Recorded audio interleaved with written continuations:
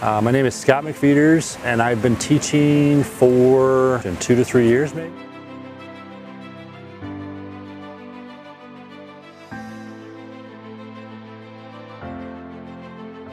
Uh, he's amazing. I mean, he truly makes you feel comfortable.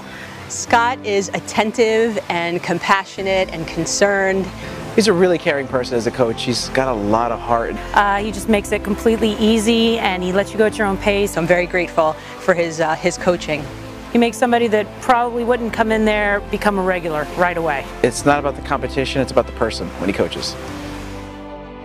My time here at Blue Titan has been fantastic. This is a community, um, a lot of good friends. I am going to miss everybody so much uh, with leave, me leaving to San Diego, but uh, it's, it's a great community and I love the people here.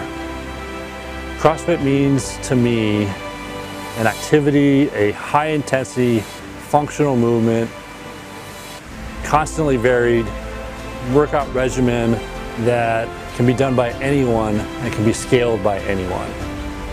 Um, so the nice thing about CrossFit is every movement in here can be scaled for the beginner to the experienced athlete or for anyone who's injured. My goal is to not have anyone walk out injured or be injured or become injured. So my goal for, for, for I want people to remember that I'm the guy who taught them the proper moves and the proper form so that they didn't hurt themselves so they can continue to come here and continue to work out safely and uh, using correct form. What will you miss the most?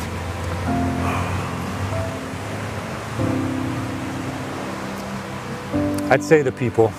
I really do.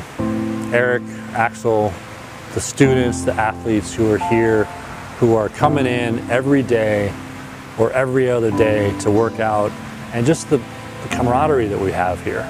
It's just, it's an awesome community. I'm gonna miss everybody. Um, and I hope to come back and visit soon.